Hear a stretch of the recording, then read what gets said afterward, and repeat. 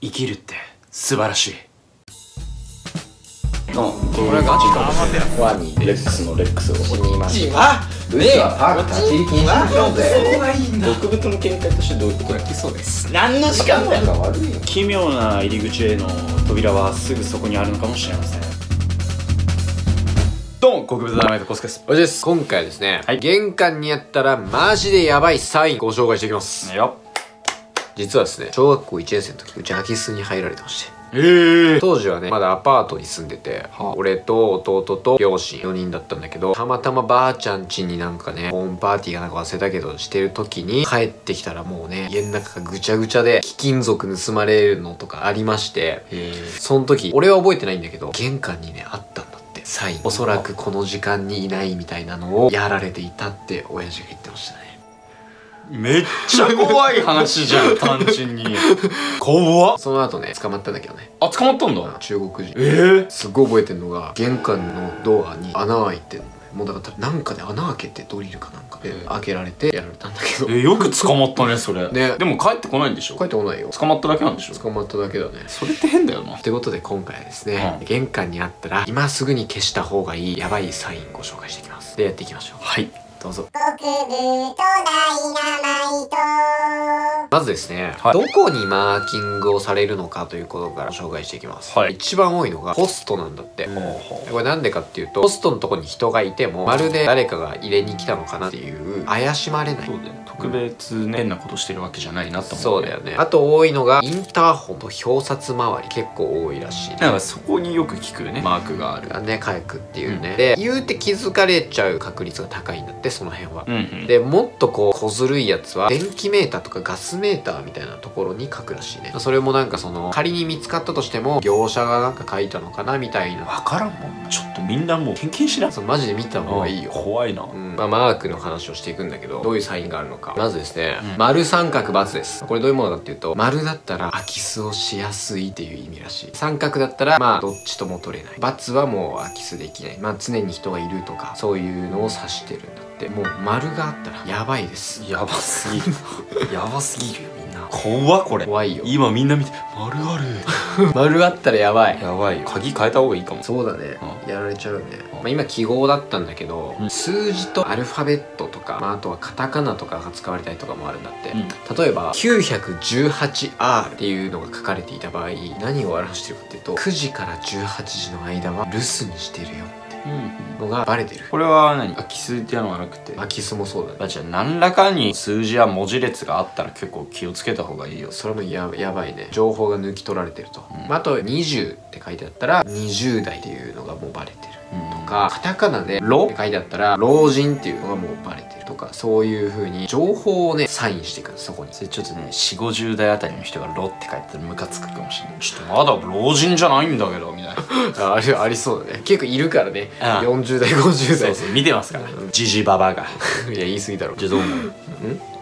ロ 一番悪いよその悪口。ローって。ローがいっぱい見てますから。まあそんな風にですね家族構成とか住んでる人が女性だとか男性だとか何歳なのかとかそういうのが結構マーキングされることが多いらしくてですね。はい。ちょ問題です、うん。W20S これどういう意味だと思う？ウーマン。ウーマン。20代。はい。S って何？少女。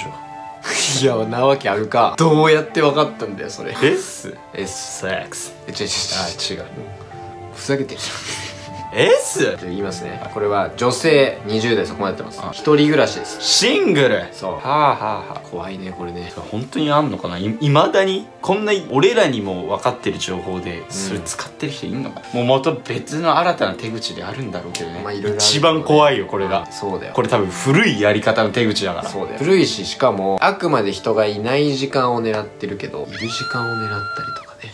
怖い怖い怖い怖い怖い怖い怖い女性はね気をつけてください。お前もケツの穴狙われる可能性あるから。いいよ狙わせてあげるよ。そんなに。怖いよ。ゴリゴリマッチョの。ゴリゴリマッチョ？むっちゃ怖いムッキムキのやつ。光一くんバツンバツンバツンバツンバツン。怖え。むちゃくちゃ怖いよ。えここまでやった？チンチン、うん、怖い怖い。あそれは確かに怖いな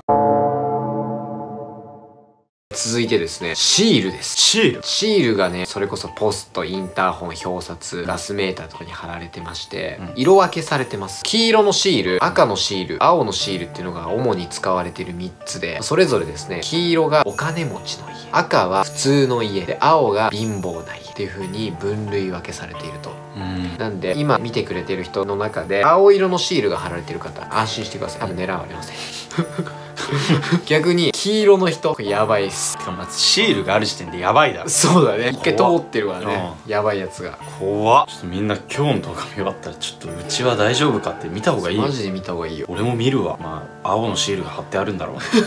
間違いない。青のロ。青のなんでロなんだよざけんなよ青の手だよ。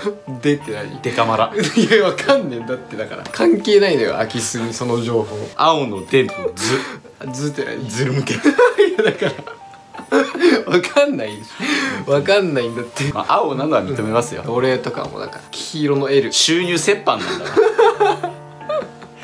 黄 L だから俺。キー S で SS って書いてある SS お前青の方だよ。青の方？何？方形。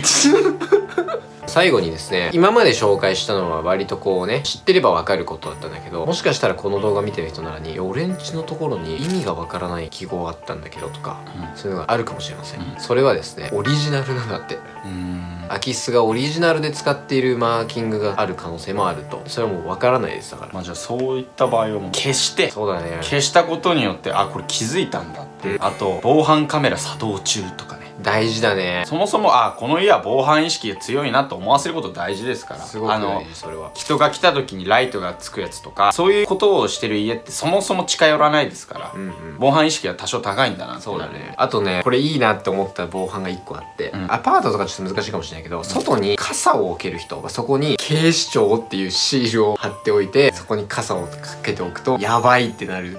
なるほど これはねすごくいいなと思ったね。いいっすね、うん埼玉県警。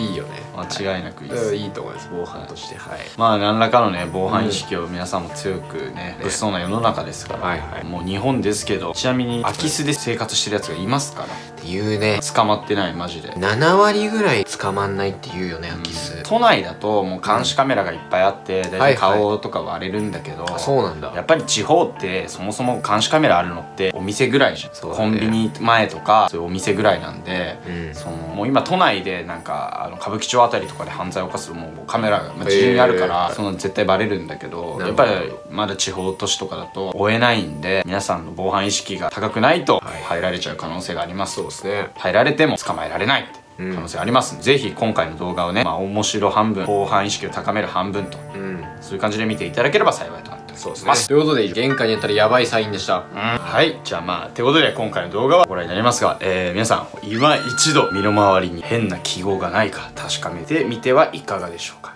以上極太ダイナマイトでした。ありがとうございました。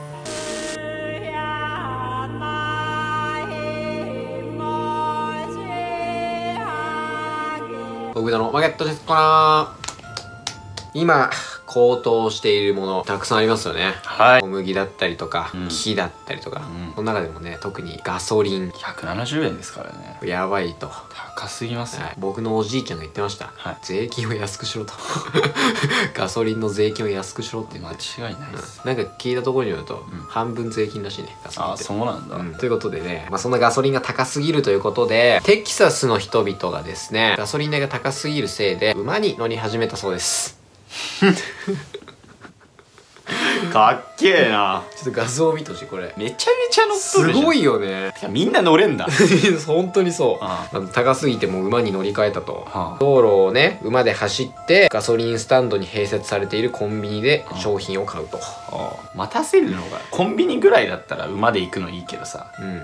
そうだな。なんか確かにな。レストラン。ランとかだと馬がな無理だね。長時間なんか置いとくのそうだよね怖いな、うん。どっか行っちゃったり。馬が悪さしたら大変だからな、車上荒らしならぬ。馬荒らしとか。あと馬うんこしちゃうしな。しちゃうね確かうん。にそうね。ちょっとしたことしかでもできないな。あそりゃそうだよ馬だ。馬。面白ニュースと言いますか。そうだね。ガソリン高いなという。ね。え戦争終わるといいですね、本当にそうだね。うん、以上極太ダイナマイトでした。ありがとうございました